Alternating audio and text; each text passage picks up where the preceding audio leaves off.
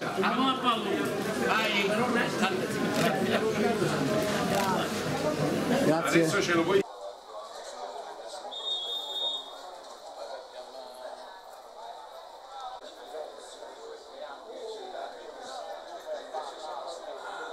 della vita di un grande calciatore, di uno straordinario, irripetibile campione che parecchi avevano quasi rimosso dalla memoria, ma è accaduto di pubblicare questo libro. Come me?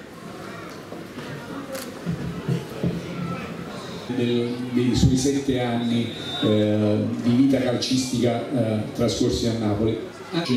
Tecnicamente il distacco definitivo dal punto di vista calcistico ovviamente del, del, del Pibe de Oro. È stato, fu cooptato in maniera eh, anche eh, immediata senza mm, eh, far vivere emozioni al, al lettore. Quindi questa, come diceva giustamente Gianfranco, fisico che noi abbiamo avuto da, da Diego quando eh, a febbraio del 2000 che c'era l'Expo, poi arriva Maradona, quindi il solito circo che, mediatico che accompagnava ogni suo spostamento. Qui vedo da Carlo Franco al competentissimo eh, nostro eh, amico Sergio Curcio, ma tanti colleghi. Dipende anche perché di Maradona non voglio parlare, ve lo leggete.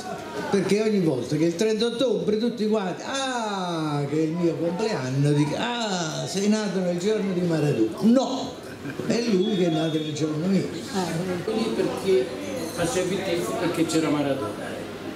Da buon brasiliano sono rimasto malissimo. Dopo.